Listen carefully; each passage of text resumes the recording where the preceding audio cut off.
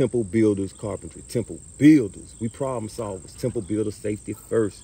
Okay, Temple Builders. Today we talking about concrete. Okay, because a carpenter definitely needs to know about concrete. You need to know about the components that make up concrete. Okay, now concrete is the strongest and most durable material for a foundation. It is placed, which is actually poured. Okay, in wood forms built to the shape of the foundation walls. After the concrete has hardened and set, the forms are stripped to expose the concrete. A large amount of carpentry work concerns the construction of concrete forms, okay? Therefore, carpenters should understand the composition and placement of concrete, all right? Now, when I was in the Carpenters Union, we built mostly scaffolds, okay? Now, also, there was other Carpenters Unions that built concrete forms. All right, just gonna throw that in there, but let me continue. We need to talk about the components of concrete. Okay, now you look at this pie chart. Okay, we got fine aggregate. Okay, two and a half cubic feet. Okay, cement, one cubic feet. Water, a half. This is a half of a cubic feet. And okay, coarse aggregate. Okay, one and a half cubic feet right here. Okay, coarse aggregate. You see the little pebbles or that would be gravel. Okay, this fine aggregate. Okay, now this is what a cubic feet is right here. Okay, so we got three dimensions. Okay, you got your right here, this is right here. You got your length, which is one foot. You got your width, okay, which is one foot, and you got your depth, which is one foot. Okay, so think about this as a large dice. That's one foot in all dimensions. All right. Now take the top off that large dice. Okay, and then pour concrete in it. Okay, now there go your cubic foot of concrete. All right. Now let me give you an understanding. Now those three dimensions is where you get 3D from. Okay. Now look at this two by four. All right. Let's let's imagine that this is one that's in your local home improvement center, and those come in the dimensions of two by four by eight, eight foot, right? So the two is this dimension right here, which would be called the depth or the thickness, that dimension, okay? Two by four, the four is this dimension, going this way, okay? And the eight is the longest dimension. I usually do the eight is your length, eight foot is your length, okay? The four foot is your, I mean, excuse me, four inches. The four inches is your width, okay? And the two inches is your depth or your thickness, all right? Let's continue on. Now, we're talking about Portland cement. Portland cement is a mixture of limestone, shells, clay, silica, marble, shale, sand, bauxite, and iron ore that is ground blended, fused, and crushed to a powder. Portland cement acts as the bonding agent in concrete, okay, when mixed with water. Now, our cement is our bonding agent, okay? Now, we got Joseph Aspdin, an English builder, developed the modern process of manufacturing Portland cement the material was named Portland cement because after hardening, it resembled the natural limestone on the island of Portland near the coast of England.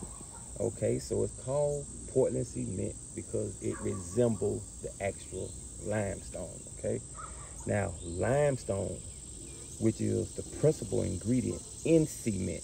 Now we gotta remember that limestone is the principal ingredient. It's a type of stone in cement, right? Is obtained by above ground or underground mining operations. It may also be dredged from deposits covered by water. After limestone has been extracted from the ground, it is broken down, transported to a cement mill, and pulverized into a hard powder. The powder is mixed with other chemicals such as silica, iron oxide, and aluminum. The combined ingredients are heated to 2,600 degrees Fahrenheit to 3,000 degrees Fahrenheit in a rotary kiln until they form small pellets called clinkers. Okay, that's what they call the little small pellets called clinkers. Okay, the clinkers are ground to a fine powder.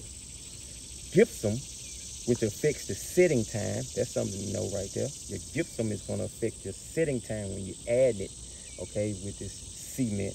Okay, gypsum, which affects the setting time, which is hardening of the cement, is then added. All right. So we just went over what cement is, okay? Which is the main ingredient is what? Limestone. Okay. This, okay, let, let me go on. Let's talk about the aggregate. Aggregate is hard granular material, material such as gravel and sand. Okay, so gravel and sand, which is granular, can be called aggregate. Okay which is mixed with cement to provide structure and strength in concrete. So the cement or the Portland cement is our bonding agent. Okay. And the aggregate provides structure and strength in concrete. In concrete. Okay. So we got that, right? Aggregate makes up the largest volume of material in concrete. Now let's look at our pie chart aggregate makes up the largest volume of material in concrete. Look, fine aggregate, that's the portion. Coarse aggregate, that's the portion. So, yep, it makes up the largest portion. The rest is water and cement. Okay.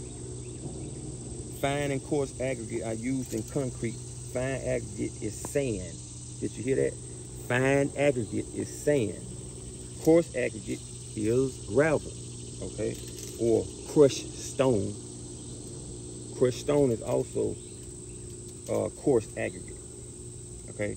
Crushed stone ranging in size from a quarter inch to one and a half inch in diameter. Aggregate must be clean, hard, strong, durable, and free from chemicals or coatings that may inhibit the bond between cement and aggregate. So your aggregate has to be clean in order to have a strong bond, right? So we went over cement, we went over aggregate. Let's talk about water. The amount of water in concrete mixture is a primary factor in determining concrete quality and strength. Too much water dilutes the cement paste, causing the cement to separate from the aggregate and rise to the surface of the mixture. Okay, you heard that, right? Separation of the ingredients results in a weak concrete. So your water proportion is very important. Too little water results in poor mixing action of the cement and aggregate, again, producing a weakened concrete.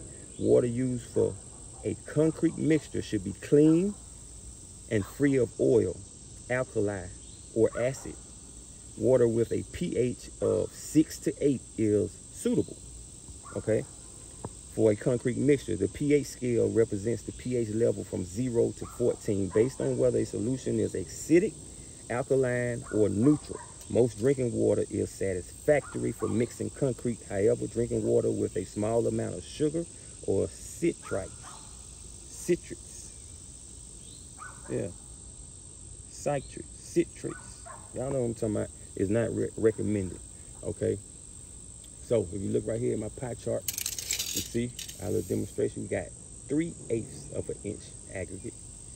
Okay, maximum size coarse aggregate, 3 eighths of an inch. Even though the aggregate can get up to, okay, uh, what is that, inch and a half, or crushed stone get up to an inch and a half, okay, what we're using here for this pie chart is 3 eighths of an inch. The cement, was gonna be one cubic feet, fine aggregate, one cubic feet, coarse aggregate, one and a half cubic feet, and water, a half of a cubic feet.